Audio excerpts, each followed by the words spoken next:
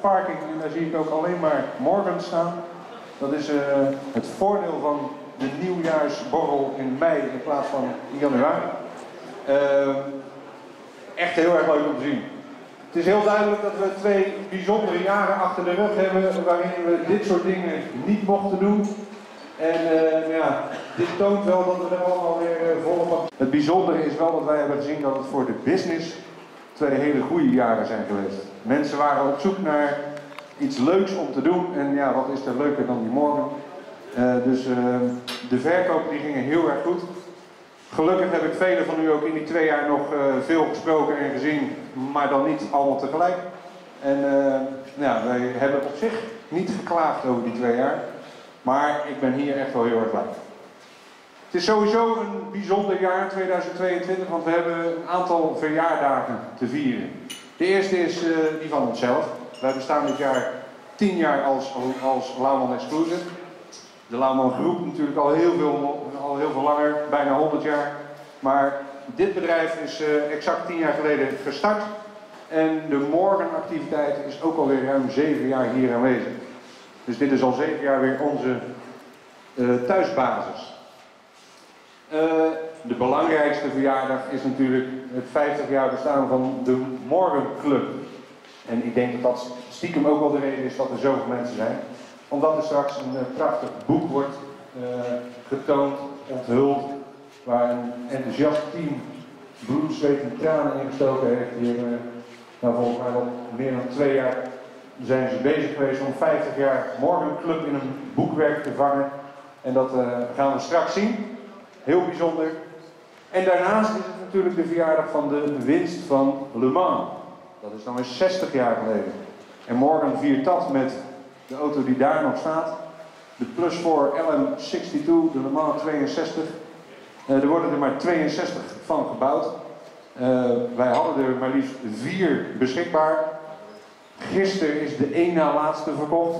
Dus ik heb er nog maar één. Dus mocht u nog twijfelen, wacht niet te lang. Speciale gasten hebben we. Uh, leden van het eerste uur heb ik al gezien. Super gaaf dat die er zijn. En die worden straks volgens mij ook nog wel even bijzonder um, welkom geheten. Ja, en er staat nog een bijzondere gast hier op het podium achter mij. Maar daar ga ik u straks aan voorstellen. Ik kan nog uren praten, want dat hebben we in de afgelopen twee jaar niet kunnen doen. Dus er is eigenlijk heel erg veel te vertellen. Maar ja, dan staan we hier vanavond om uur of tien nog steeds. Uh, dus dat gaan we niet doen. Ik wil eigenlijk uh, vragen aan uh, de voorzitter van de MSCCH, Ad mij om uh, het woord van mij over te nemen.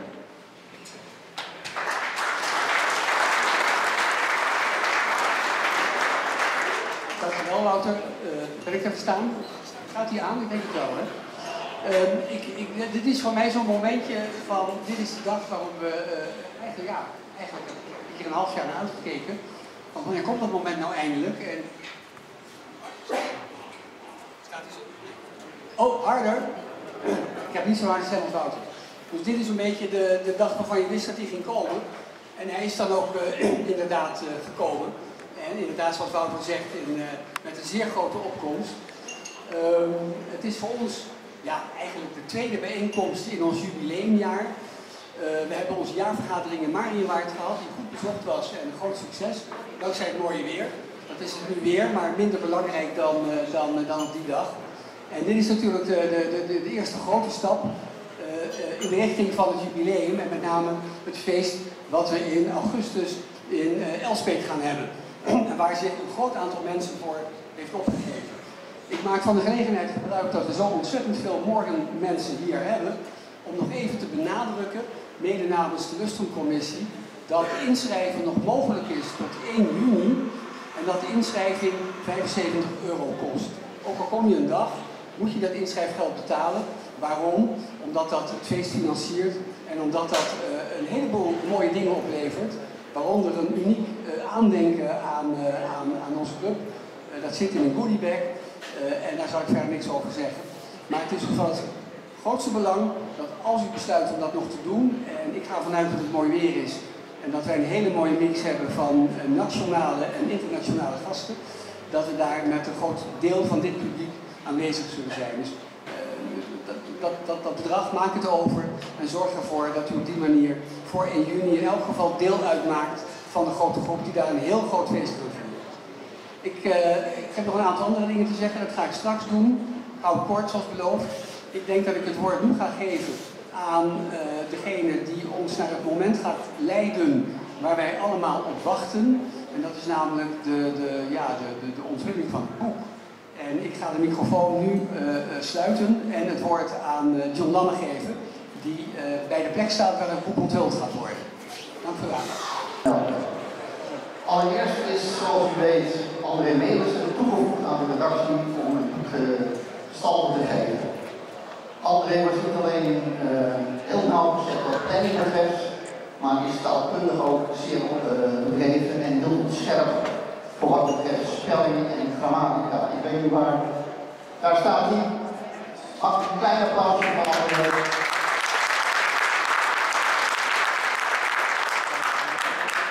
Daarnaast uh, diverse bestuursleden, regio-ambassadeurs en niet te vergeten de moordhistoricus Herman Kom bijgedragen aan het boek. Ook ontvingen wij van diverse leden uh, verhalen en foto's. Dank daarvoor. Toen wij in 2020 met het boek begonnen, zo medio 2020, hadden wij het idee dat we met 220 pagina's al uit zouden komen. Nou, al bleek dat het niet voldoende te zijn. We hadden namelijk ook nog het idee om heel veel met foto's te gaan werken. Nou, een en ander heeft geresulteerd dat we nu een boek hebben van 350 pagina's. Kleine 600 kleurenfoto's, ruim 100 zwart-wit foto's en nog iets van ruim 50 tekeningen, schetsen, brieven, etc. grafieken. Uh, wat dat betreft het boek. In de komende maanden organen kunt u alles nog eens rustig nalezen, want er staat een heel verslag over is gekomen. Wat absoluut niet onvermeld mag blijven, is dat wij gedurende het hele proces een zeer nauw contact, een plezierig contact hebben gehad met RAD, onze drukkerij. En met name in de persoon van Johan den Houten en Kimberly Nietelmeijer. Kimberly is helaas uh, verhinderd vandaag. Kimberly is ook degene die verantwoordelijk is voor de volgende van het boek. En dan wil ik nu eigenlijk het uh, woord geven aan Ad. Vader Morgana, die ons zeer achter de mond heeft gezeten als tijd. En we hadden de deadline van januari 2022. En anderzijds natuurlijk ook uh, met name vanwege de RAD, die, die ons in dit project uh, op wijze gesteund heeft. En ervoor gezorgd heeft dat dit boek daadwerkelijk, laten we dan zeggen, op eigen kracht bestand is. Dus uh, ik er al een.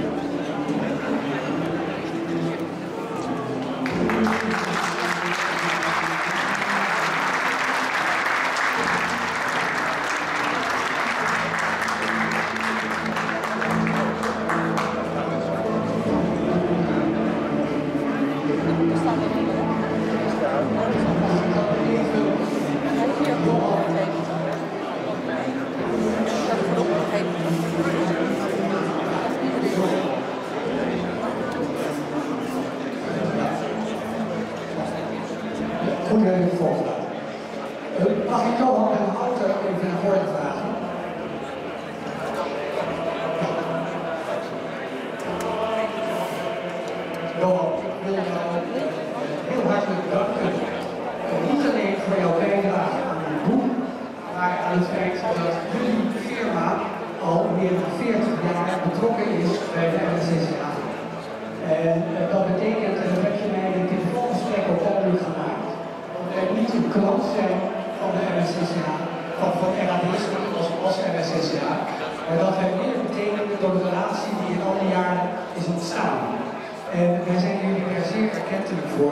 En ik herkende zonder jullie, dat zonder jullie hulp en zonder jullie deskundige jullie dit boek uh, nooit voor elkaar zou zijn gekomen.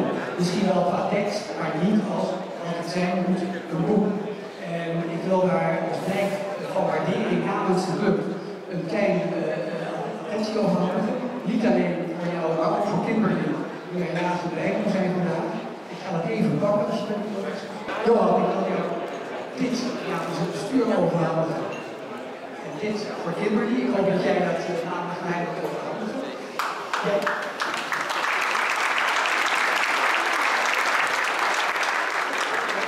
Jij weet inmiddels alles van ons. Je kent de ledenlijst, je kent de gaten organen, je kent de auto's. Je weet hoe je boek nou helemaal dat gaan we zien.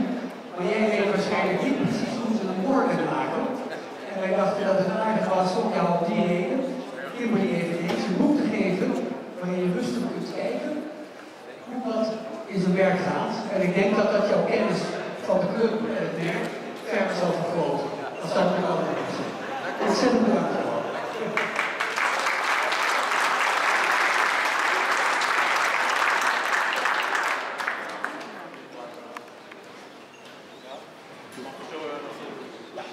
Dan wil ik nu graag de twee leden die in aanmerking komen voor de Gouden Veteran Pin, te weten Dick de Bruin en Jan Barkhuizen naar voren roepen.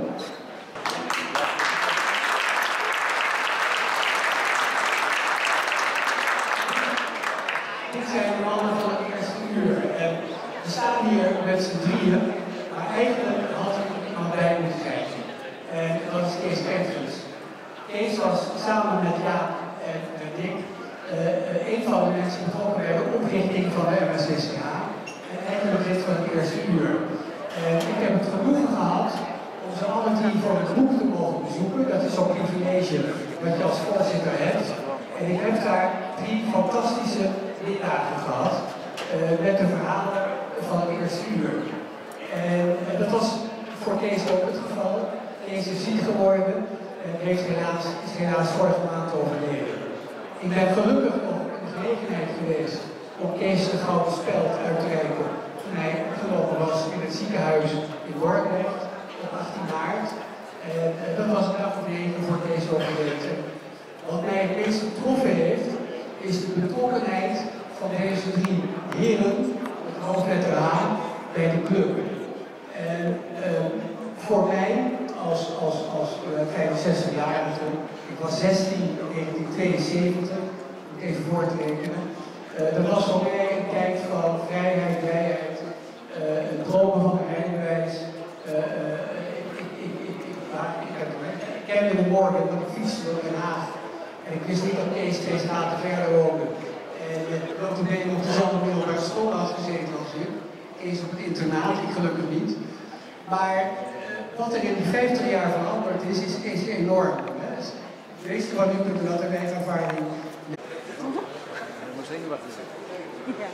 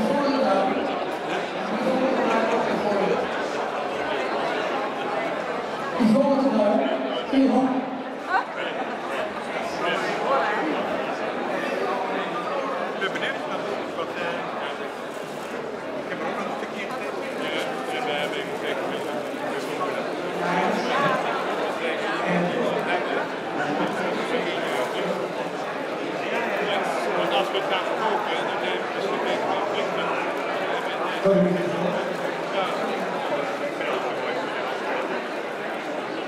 nou, we zijn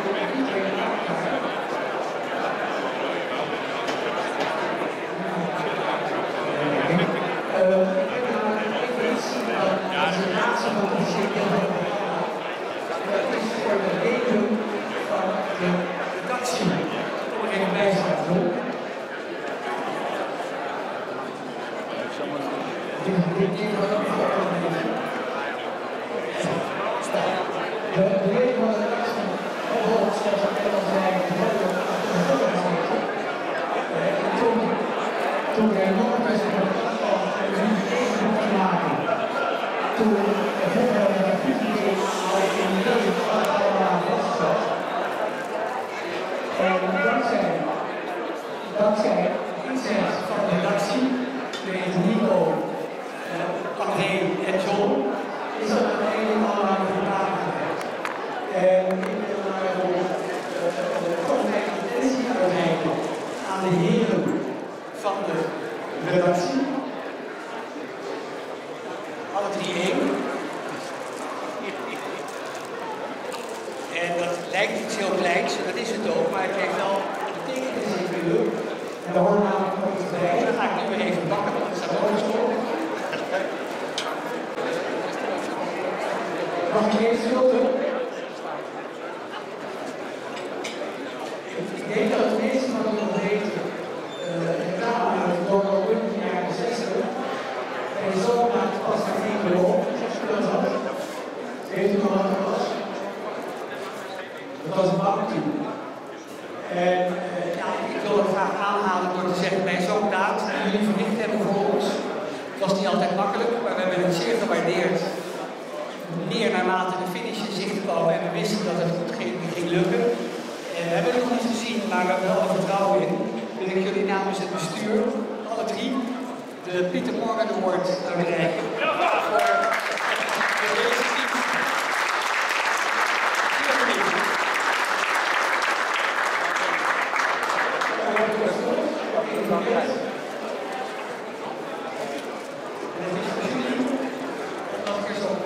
Puinhoop gemaakt tegen de organisatie.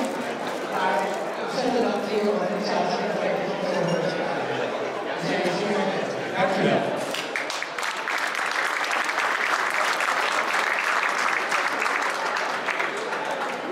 Nou, dat weet ik ook. Ik moet nog even aanvullen op Ad trouwens. Alle leden van de Morgan Club, die kunnen straks hun boek afhalen bij de lift. Eh, dat geldt alleen voor de leden uiteraard en er is een lijstje en dat wordt bijgehouden. Degenen die nou geen lid zijn van de Morgan Club, maar ook denken van goh, zo'n boek zou ik ook willen hebben, dan is dat ook te koop. En ik heb begrepen dat dat voor 95 euro te koop is. Dan ben je de rest van het jaar ook lid van de Morgan Club. Eh, dus ja, misschien een leuke manier om eens te kijken of het eh, lidmaatschap wat is. En eh, ja, zo'n boek is natuurlijk altijd mooi om te hebben. Eh, ik denk dat de meesten van u aan de vorm al wel een klein beetje zien waar we het over hebben. Eh, we hebben natuurlijk in eh, 2011 de introductie gehad van de Morgan Three-Wheeler. Dames en heren, mag ik nog heel even uw aandacht alstublieft? We hebben natuurlijk in eh, 2011 de introductie gehad van de Morgan Three-Wheeler, de revival van de oer-Morgan. En eh, die three-wheeler die bleek enorm succesvol te zijn voor Morgan. Helaas waren er allerlei redenen waardoor die twee jaar geleden uit productie moest. En dat had vooral te maken met emissie-eisen en goedkeuringseisen. Maar op dat moment zei Morgan, ja maar we gaan niet zomaar een voertuig met drie wielen weggooien. We gaan op zoek naar het vervolg van de three-wheeler. En eh, ja, de motor had vooral was een van de grootste oorzaken van het feit dat eh, de goedkeuring niet meer tot stand kwam. Dus ze moesten naar een andere aandrijflijn. Die V-twin motor was op die freewheeler echter zo nadrukkelijk aanwezig aan de voorkant dat dat dus betekende dat het hele design op de schop moest. En uh, daarom heeft het wat langer geduurd dan uh, een paar maanden om uh, alleen maar even een andere motor erin te zetten. Morgan heeft een volledig nieuwe Morgan ontwikkeld. De eerste Morgan onder het bewind van de nieuwe investeerdersclub, die volledig onder hun bewind is ontwikkeld. Hij heeft een aantal bijzondere aspecten. Het is de eerste Morgan met een monocoque uh, het is uh, na de Aeromax de eerste Morgan die een volledig superformed carrosserie heeft. Dat betekent dat ze aluminium op een hele hoge temperatuur in een mal blazen eigenlijk, en waardoor die die vorm aanneemt. Uh, het is de Morgan die het meest te personaliseren is uit de historie. Dus je kunt echt een helemaal een eigen smaak gaan samenstellen. Wij hebben nu als eerste dealer hebben we de Super 3, want zo heet hij, hebben we in de showroom staan. En uh, ja, daar zijn we echt uh, super trots op, want hij is ook super cool. En uh, ja, ik denk dat we maar gewoon het doek eraf moeten halen, want ook hierbij geldt weer, je kan blijven kletsen. Jongens, de Morgan Super 3.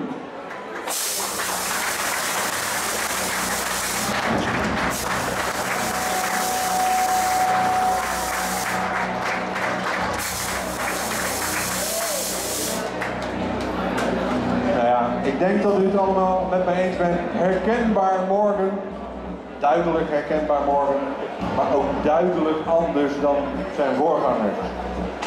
En dat hebben ze bij de designafdeling super knap gedaan. Een 1500 cc, 3-cilinder motor met 118 pk, een gewicht van 635 kilo. Die pk gewichtsverhouding, daar is weinig mis mee. Uh, watergekoeld de vorige was luchtgekoeld, maar deze is watergekoeld. Wat is daar zo bijzonder aan? Dat betekent dat je hem ook kunt bestellen met verwarming. Naast de stoelverwarming die we al hadden in de Premier, is er nu ook een volwaardige verwarming verkrijgbaar. En meest te personaliseren, u ziet die side blades aan de zijkant.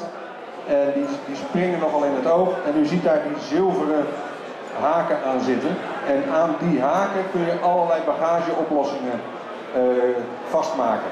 Er zijn uh, uh, speciale netten voor die je daar aan kan haken, waardoor je rugzakken of dat soort dingen erin kan klemmen. Maar er zijn ook speciale koffers die daar in één keer aan te hangen zijn. Er komt ook een bagageoplossing aan de achterkant. Dus de klep, een bagagerek wat hier ook weer scharniert, waardoor je en de klep kan openen, terwijl er ook bagage op zit. En dan de bagage aan de zijkanten. Ja, ik denk dat we er gewoon drie weken mee op vakantie kunnen. En dat is ook het doel wat Morgan heeft met de Super 3. Ze willen mensen op avontuur sturen. En met dat oogpunt is alles ontwikkeld en bedacht dat het naast vooral heel veel lol bieden ook enigszins praktisch moet zijn. Zoals gezegd, ik zou het kort houden, dus dat ga ik ook doen. Uh, de Super 3 staat hier om te bekijken. Uh, spring nu niet allemaal in het buis, want het is inderdaad